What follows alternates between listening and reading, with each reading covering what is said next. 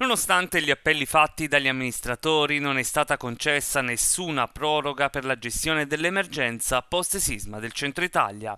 La Premier Meloni ha nominato Guido Castelli come nuovo commissario per la ricostruzione. Il senatore di Fratelli d'Italia, ex sindaco di Ascoli ed ex assessore al bilancio della regione Marche, prende così il posto di Giovanni Legnini. Un cambio al vertice che ha suscitato non poche polemiche visto le richieste inoltrate dai territori del cratere sismico al governo per la riconferma di Legnini. La richiesta veniva dai sindaci, dai territori, dai comuni, dai comitati, eh, anche da esponenti insomma, ecclesiastici.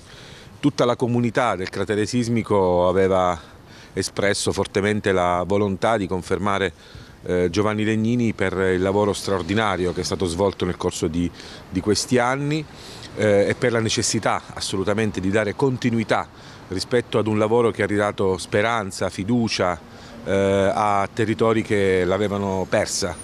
Ecco perché il lavoro di Legnini deve essere un patrimonio straordinario consegnato al nuovo eh, commissario al quale vanno gli auguri da parte mia, da parte di tutti i sindaci del, eh, del territorio, ho già rivolto personalmente a Guido eh, Castelli gli auguri di buon, di buon lavoro, ma che si vada assolutamente in continuità con l'attività che è stata svolta. Dunque per il sindaco di Teramo, nonché presidente Anci Abruzzo d'Alberto, la cosa più importante ora è quella di proseguire con l'imponente lavoro portato avanti in quasi tre anni di mandato da Giovanni Legnini. La strada è tracciata, la linea è tracciata grazie al cantiere normativo, agli strumenti che Giovanni Legnini ha costruito, i cantieri che sono stati aperti, altri pronti a partire eh, e quindi dobbiamo andare avanti in questa, in questa direzione. Certo, il metodo utilizzato, come ho avuto modo di dire anche ieri, è stato fortemente discutibile, tanto senza un confronto, senza tenere neppure in considerazione eh, le richieste dei,